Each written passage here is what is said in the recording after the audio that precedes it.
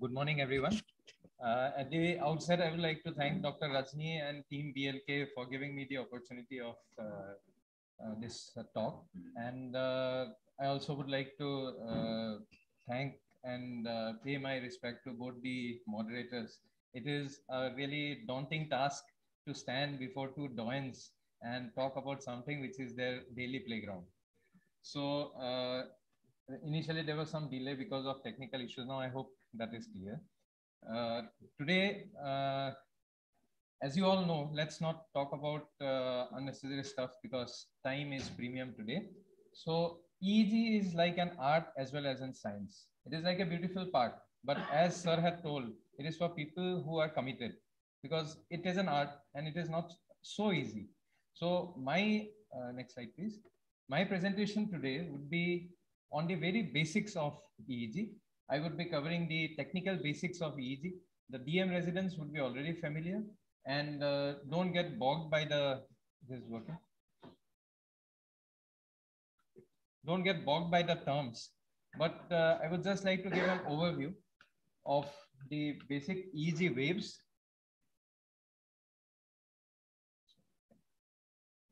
EEG waves and uh, also about certain patterns and the settings which have to be kept.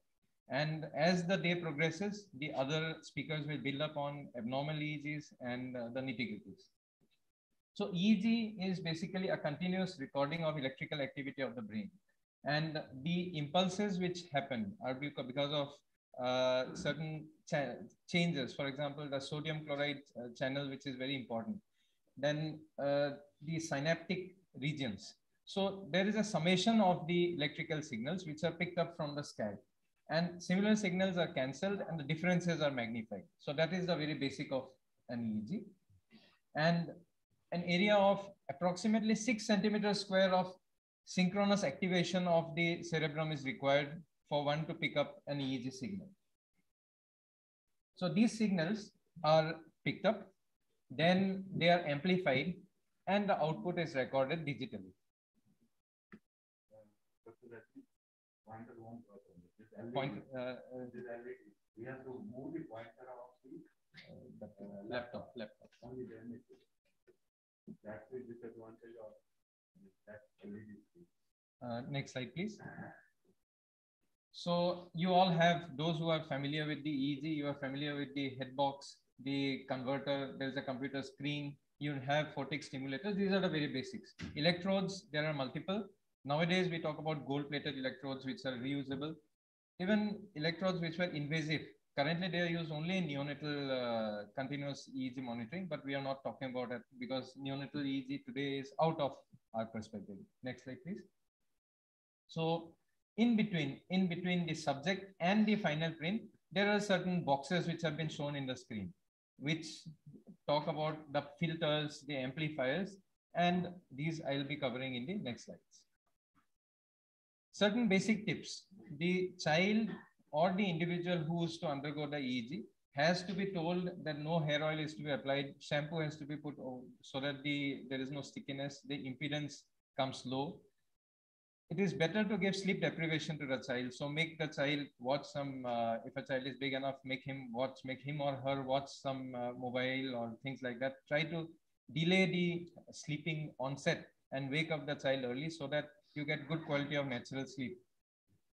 And sedation, as ma'am have told, we have our own protocols. So set protocols, nowadays we are very familiar with melatonin as well as triclofos or pedicloryl. The dosages are given in any standard textbook. Resuscitation kit should be there. Consent form should be there in your labs. The uh, next, previous slide, please.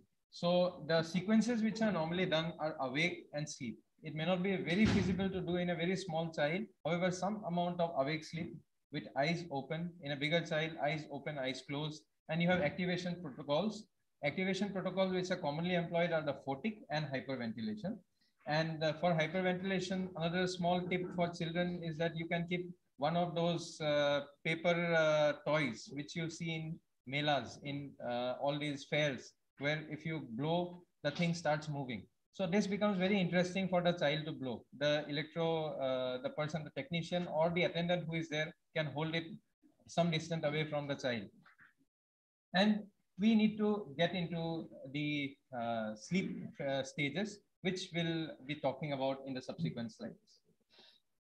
So the there are multiple systems of electrode placement, but the most uh, conventionally applied one is the international 1020 system of electrode placement. Probably one question would have come inside your in your uh, listing also pre-assessment. So what is 1020? So the differences between next slide, please. Between the uh, subsequent electrodes is either 10% or 20% of the total distance. So are you familiar with the terms nasion, inion? Nasion is that depressed area just above the bridge of your nose where the head touches here. Inion is that bulge just on the occipital area. So next slide, please. So when you have a straight line, this actually you just need to have a concept because your technician is going to apply it, but then it is better that everyone is familiar with that. Next slide again. So you can see on the slide, there is a sagittal line between the nasion and the inion with the central mark, which is CZ, CZ or CZ. Similarly, a coronal line, which is from the left tragus through the CZ to the right tragus, and a circumferential line which encompasses everything. In between are the different points. So that is the first basic, that these are the landmarks where you are going to apply the electrodes. Next slide, please. So the method of application of electrodes generally is a, either by using cleaning the area and then by applying a, electro, a conductive paste and then sticking it, or there are caps also. Caps are frequently not used, but for long-term monitoring, caps can be quite useful. So the electrodes which are on the right side are conventionally uh, uh, uh, represented by even numbered uh, digits. For example, 2, 4. On the left by odd numbered, like 1, 3. The A1 refers to the left ear or a left reference. And the A2 refers to the right ear or the right reference. And the terms which are to be remembered are FP, which refers to frontopolar, which is the frontalmost part FZ or FZ is the frontal, CZ is the central, P is parietal, O is occipital, T is temporal. Next, please. So this diagram you need to uh, see and understand. It is given in your small booklets. Next slide, please. So you, you can see that we are trying to represent a 3D structure into a 2D format. So there is some approximation. There is a lot of approximation. This is a conventional uh, map which starts in this fashion, where the part T4 more or less correlates to the area of the brain, which is the temporal. However, in order to suppose you have a child or an adult or a baby who has, say, a focus deep inside the brain in the temporal, so you may have to put extra electrodes also, which we are not covering in this map. Next slide. So as I have told already, the abbreviations for F, C, T, so on and so forth. The odd number stands for left, even for the right, and Z stands for midline. And next slide. next slide, please. This is just a photographical uh, representation of application of EEG. A video probably would be shown in the workshop stations by uh, Dr. Rajni. Yeah, thank you so much. This is the box where you make the connections and these are the electrodes. So now comes the second set of definitions. What is an electrode? Electrode is the point where the, the electrode comprises of that particular uh, structure, which you see, which has a cap, the gold plated or a silver plated uh, thing which you see, which you apply on any particular part of this cap. Two electrodes form a channel and contiguous, that is the neighboring channels, they form a chain. You'll know it when we show a picture of the chain. And the chains are arranged in a particular fashion. The commonest, the most popular ones, which you will be using, a longitudinal, a horizontal or transverse bipolar, and a referential montage. So the electrodes you have been uh, talked, uh, you've been told about are the one which uh, response, which basically corresponds to the inputs. And the channel, for example, T501, it shows a voltage fluctuation between those two particular electrodes. And the entire part, uh, the entire part, I'm I'm not I'm unable to show you the pointer uh, because of the technical issues, but the entire uh, channels they comprise of a montage it's not shifting, uh, I think. Dr. So this is a snapshot of an epoch. This is an epoch of an EEG. Can anyone, uh, so we'll go to the workshop stations, then we'll talk about it more. Just focus on the right panel, on the right longitudinal panel where can you see from your places? It's written FP2, F4, F4, C4. So you see the second letter, the second uh, thing, F4, C4, and the first letter of the next C4, P4 is common. So this is a longitudinal bipolar montage. Red generally conventionally uh, corresponds to the right and green conventionally green or blue uh, corresponds to the left. You can change it, change the parameters. Can you come back please? And on the top, on the top panel, in the nowadays in the digital platform, wherever you're working, you'll have various options there. For example, on that montage M, you click there, then it comes down, you can change it. Once you have done earlier, what they used to do is you had an EEG on a paper. It used to be a laborious process that you put montages, then you take, then again change it. Now you don't have to do it. The uh, algorithm changes it accordingly. So your longitudinal, if you see a particular, uh, uh, say, voltage, a particular difference of voltage in a particular montage, you need to change it to a different one so that you have two perspectives in order to localize. We'll talk about localization in a subsequent uh, talk. So this is also known as a double banana montage or a longitudinal montage where you see these two on the right as well as left, the yellow markings correspond, they are more, more or less, they look like two bananas kept on the scale. So FP1, F3 refer, refers to the difference in the voltage between FP1 and F3. Similarly, F3 and C3. Monopolar, which again is a transverse, which is a montage which is shown here. There, all the electrodes of a particular area is attached to a reference. The commonly the reference is the year. For example, FP1, A1, FZ, FZ, A1, they're responding, they, they, they correspond to uh, the electrodes which are applied on the left hemisphere, which are connected to the left ear. And we have to remember that there is one electrode, which is a reference electrode, which is used for grounding also, because minimal amount of ground difference may be there, which will cause artifacts. So that reference electrode is over and above these electrodes. So there are 16 sets of electrodes which are applied. Uh, the same thing has been diagrammatically represented in this picture. Can you come back once, please?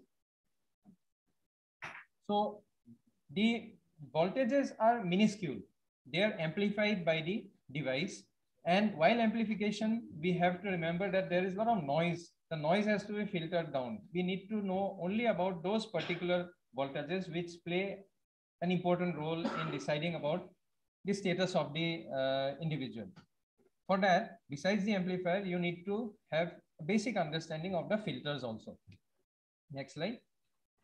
The third concept which I wish to give is positive. Normally, we always uh, intuitively we think up is positive.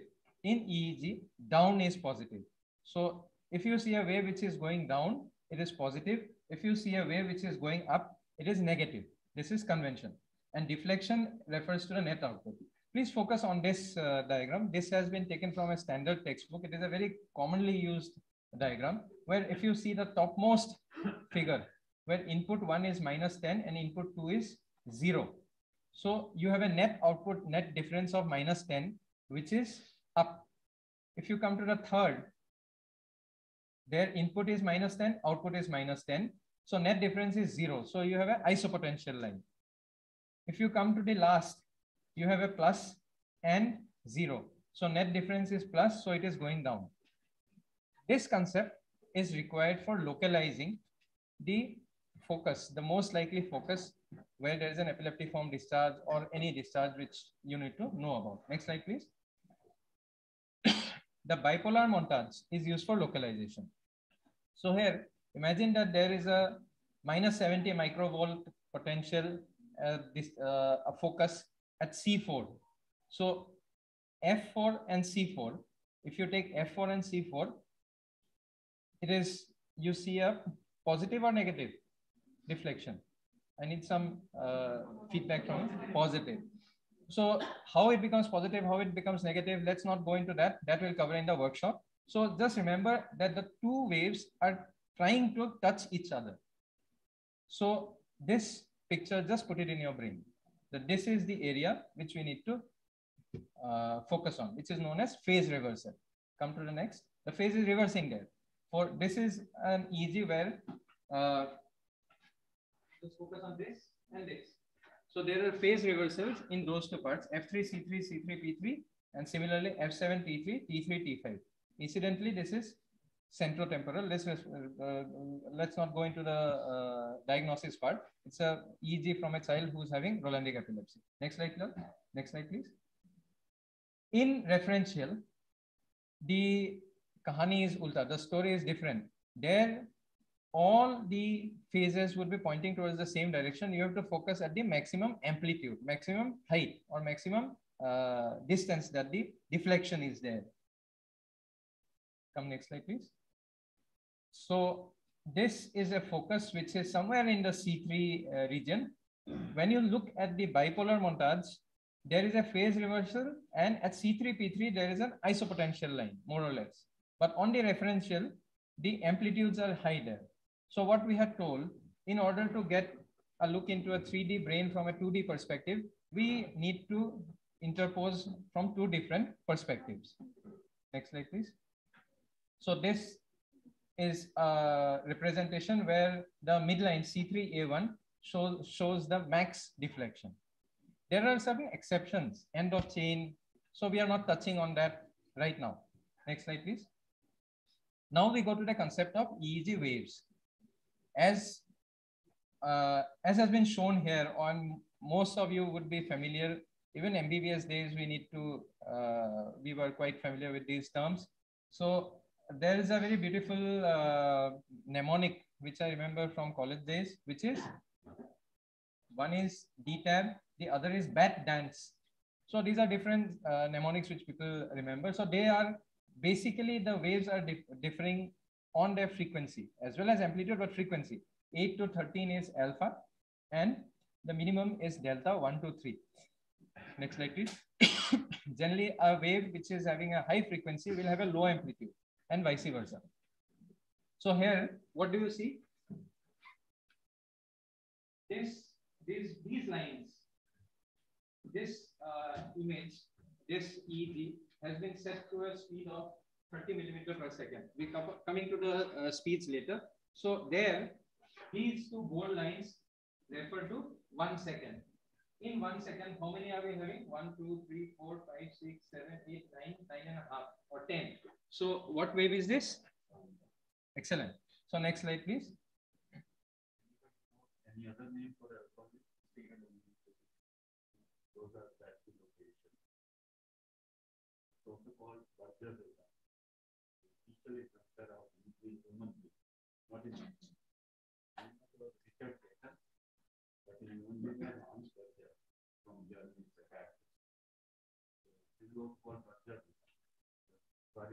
So, thank you, sir. Next slide, please. So, can anyone uh, guess what wave is there? Alpha has been already shown. So, what comes? So, this is faster. This is a beta rhythm. Next. Theta has been shown there and so on and so forth. Next, please. This is a delta rhythm, which is very slow, like the waves of the sea. So the rather than jumping into the diagnosis, like any any clinical case, also we have been told go step by step. Here you should see the uh, montage, then settings, then go into the background and gradually go to the main part. Next, please. Next slide, please. So there are certain clinical correlations. Alpha, remember, individual is closing his eyes, his or her eyes, you have the alpha waves. Besides this, there are other waves also, mu waves, gamma waves, which we are not talking about because clinically, maybe not that relevant as of now. Next slide, please. Uh, previous. So now the basic settings of an EEG. Frequency and amplitude are the two physical parameters which are very important. And you have a scale uh, where, which can be used to measure them. Besides that, the technical parameters which are generally preset, but you need to be aware of are the sensitivity, the high frequency or HFF, low frequency, 50 hertz filter or a notch filter, paper speed or a swipe speed. Next slide, please. So this is an EEG which uh, has been amplified where frequency and amplitude are being shown 1000 ms and 70 microvolts. Next, please. So generally certain terms which are given by the International Union uh, for uh, Clinical Neurophysiology, less than 20 microvolts is taken as low amplitude, 20 to 50 as medium and more than 50 as high amplitude in case of children. Gross asymmetry of two sides, the right and the left, have to be commented upon. And less than 10 is likely to be abnormal and less than 2 is an isoelectric EEG. Next slide, please. Next slide. Uh, now we start talking about the filters. The 50 hertz filters. 50 hertz is a small frequency as far as your uh, this thing is concerned, filter is concerned. So 50 hertz filter, uh, notch filter is generally not applied except when there is a lot of electrical interference. For example, in the ICU, in the PICU, this is a EEG where 50 hertz filter has been put on. The same EEG, when you put it off, you see this line at T3A1, that is an electrical interference. So that has been negated by using the 50 hertz or notch filter. Next slide. So if notch filter is off, it picks up the electrical interference patterns or loose electrodes and things like that. Yeah. What is the electric frequency or in hertz in India? Why is it 50 hertz? Why not 50 or 40 or 70? Yeah, we will say 220 volts and 50 hertz. Do remember. It will be a small question in basic also. There are EEG certification courses of HR journalism and so all these questions. And in uh, West, what is equal to? 60 years. 60 years. These are important points remember. There is a 60 years. In our part, it is 50 hertz. And in US, the voltage is 110 volts, not 2 volts. Uh, the paper speed or the sweep rate so normally that is set as 30 millimeter per second, where uh, you have two bursts coming. You can see at uh, the level two here and here. So in order to find the uh, velocity, you need to know about the time. So the time is can be set and generally it is set at this level. However, if you have a particular burst which is coming more frequently and you need to expand it. So you can decrease it to 15, you can increase it to 60 and things like that. These may be useful in cases, for example, you're suspecting a quasi-periodic complex in SSP, where you would like to see whether they are coming periodically or not. You need to get in more bursts, then you need to change it. Next slide, please.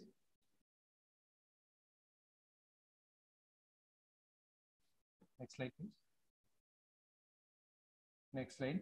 So the same has been compressed to 15 millimeters per second. So you have got an impression where the things are coming faster. You need to see more bursts. Next slide.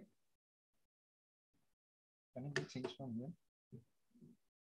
Uh, this part, this part, I am not uh, the posterior dominant rhythm as Sir had asked, Berger rhythm.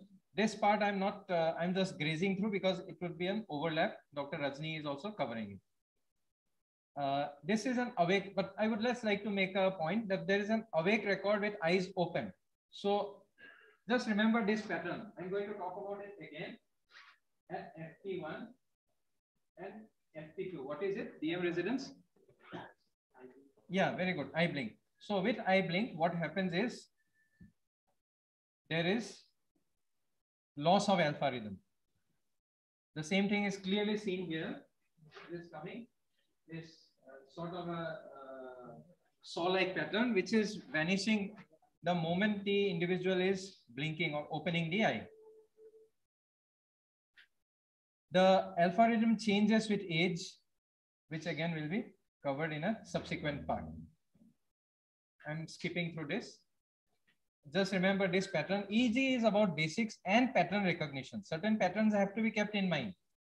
Uh, if you have a pattern like this, this is generally a side to side roving eye movement. Sleep, again, I'm uh, rushing through, you are covering sleep.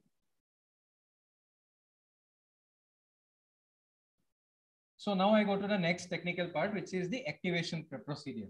So activation procedures are certain procedures which are used to uncover pathological conditions so that you can differentiate normal from abnormal EEG clearly. The commonest ones are hyperventilation, as I had mentioned in my early uh, part of the talk, and photic stimulation. Besides that, sleep deprivation. Certain drugs, for example, benzodiazepine is given in order to make the bursts of SSP more prominent. And special form of stimulus can be done in research conditions also, like uh, sensory stimulus, auditory, and things like that. In hyperventilation, you ask the individual to blow a piece of paper very forcefully. The problem with pediatrics is getting cooperation. The child starts crying, the child is not happy. So that becomes a challenge. So many a time you can use that toy, which uh, involves blowing and that uh, paper thing starts moving. Sorry if an individual is having a cerebral, so the physiological me mechanism is washing out of CO2, hypocapnia. It is contraindicated in moya moya and cerebral vasculopathies because it can lead to hypoxia, uh, it can lead to vasoconstriction. Initially, there is a background slowing and increase in theta delta activity, which can be, uh, which can also be associated with certain lateralizations in case of abnormal brain parenchymal uh, conditions. So there is a buildup of theta delta you see generally. Theta delta, you remember, is a slow wave, which you are seeing in the frontal FP2, F4. Then you can see over FP1, F3. Are you with me? Yeah, so that is a theta delta which has been seen in an individual after two minutes of hyperventilation. and here, uh, this is from a textbook where you see uh, theta delta is happening intermittently. So this is after prolonged hyperventilation. Photic stimulation, so where hyperventilation precipitates abnormal discharges, again will be covered in the next part. Photic stimulation, you have got this device which gives LED uh, lights are flickered on and off at a particular frequency, which changes from 5 hertz to 30 hertz. They are given for 10 seconds at uh, 10 second intervals. Gaps are also given there can be either no effect or there can be an effect which is normal or there can be an effect which is abnormal, right? So photic driving reflex is a reflex, is a, a finding which you find, which is the commonest, which is generally it occurs, it, it is a normal phenomenon. In case it is asymmetric, it may be abnormal. What happens is that it is seen over the posterior region of the brain. It is time locked. Suppose you have one click, one light coming, you have one discharge. For example, here, the photic stimulation is represented by these marks. And along with it, you are having a time lock discharge here. This is not abnormal. This is a photic driving reflex. There, the photic has stopped. So the abnormal, the, uh, the, the different discharges which are seen here have also stopped. The same thing has been shown in this EEG where the line at the bottom panel refers to the photic stimuli. Back, back please. Then you have got a photomyoclonic response. Photomyoclonic response is also time locked, but the frequency is higher. It is in a beta range, 12 to uh, 14 to 18. And generally on eye opening, it disappears. It may be abnormal also. And in case an individual is taken off recently from benzodiazepines or barbiturates, then they are more prominent. So when you come to a muscle artifact, photomyoclonic looks like a muscle artifact. Next slide, please. So you see these, they are like they are like transverse ridges, very, very fast, very rapid. Then you have got a PPR or a photoparoxysmal response, which is to be looked for. This is an abnormal response, which refers to an abnormal excitability of neurons. They are generally most commonly picked up on the occipital part. Both eye opening as well as eye closure can be associated with it. And so your photic has started at the third second, probably two and a half seconds. But the response which is coming, they don't, they are not time locked. They are more prominent on the posterior head regions. So these are the photomyoclonic responses.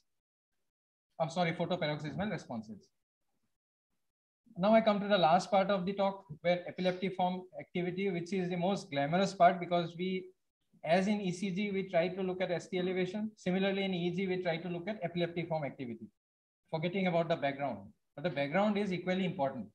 So certain terms which are internationally defined are spikes, less than 80 uh, milliseconds, sharps or sharp waves, 80 to 100, 80 to 200 milliseconds, spikes, slow waves, polyspikes, two or more spikes,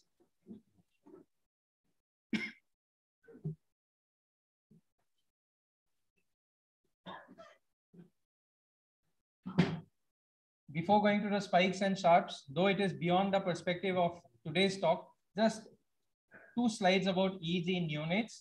In EEG, uh, one, one part which I, I'm sure Sir will agree with his vast experience is that before the EEG, you need only two data, definitely, the age and the state of the individual. In children, in neonates, you need to know the gestational age because the brain maturity is florid at that point, for the point of time a 28 weeker, 30, 34, all will have different manifestations. It's a different subject on its own. And there are issues with multiple drips, multiple lines, artifacts. So problems in recording the neonatal montage, which is neonatal, I think some, the neonatal montage involves eight uh, application of eight electrodes. Just hold on for a second. Certain terms which will be used while uh, interpreting the EEG by Dr. Prashant, which are rhythmicity and synchronicity. Just try to visualize these pictures. The topmost on the left refers to a spike, less than roughly 80 milliseconds. Then comes a spike and wave. Then comes sharp and slow wave. Sharp is 200 milliseconds, as I had told. Poly spikes, two or more spikes. This is an image where you have seen spikes and polyspikings. We are harping about polyspikes because polyspikes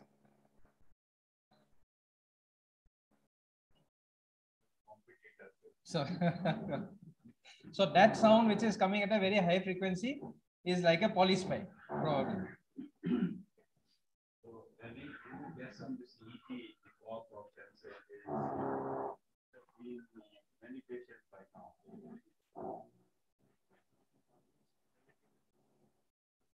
Nangal police bike.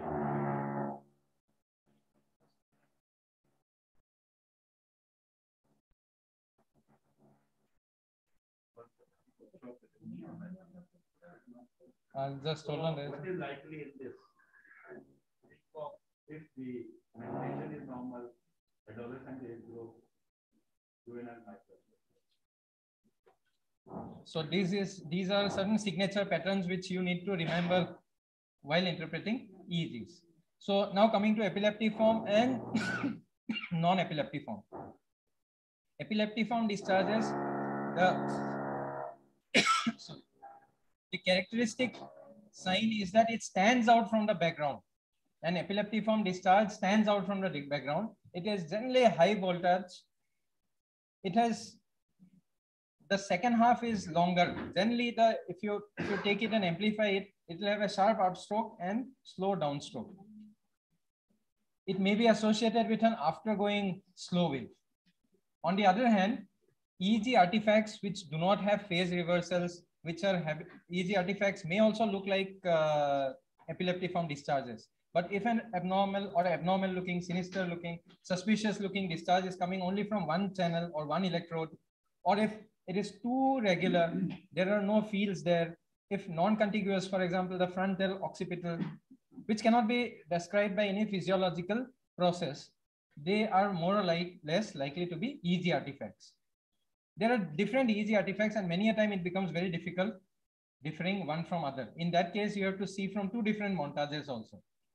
Broadly, they can be classified into biological or physiological and non-biological. Biological, for example, uh, clenching teeth, coughing, swallowing.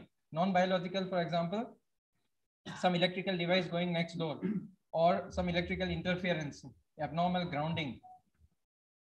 This is a chewing artifact, which is occurring across all the leads.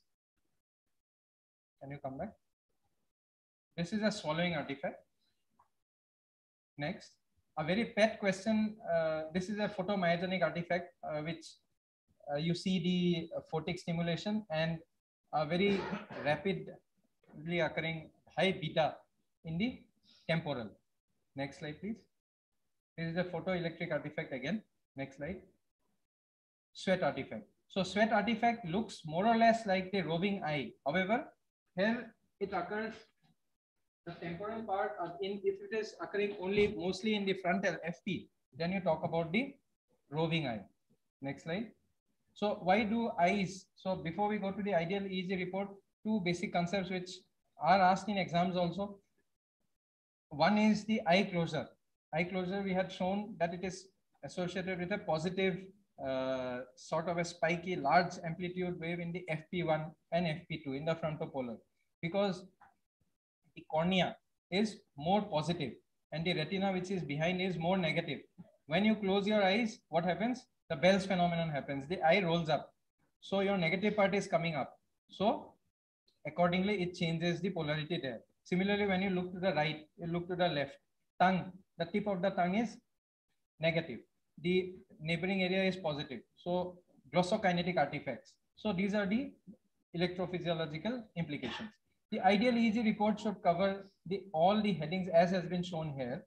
And a normal EEG, all speakers will uh, agree or they'll enforce, they'll uh, talk about, reinforce. The normal EEG does not exclude or support the diagnosis of epilepsy. Similarly, an abnormal EEG is not equal to epilepsy. There are many other factors which have to be considered. The take home messages after my basic presentation is the bare minimum technical basics of EEG, an overview of the waveforms, background, activation, epileptiform and non-epileptic form discharges. We'll build it up in a workshop. Any questions, you may please ask. I'd like to acknowledge the thank uh, once again the uh, organizers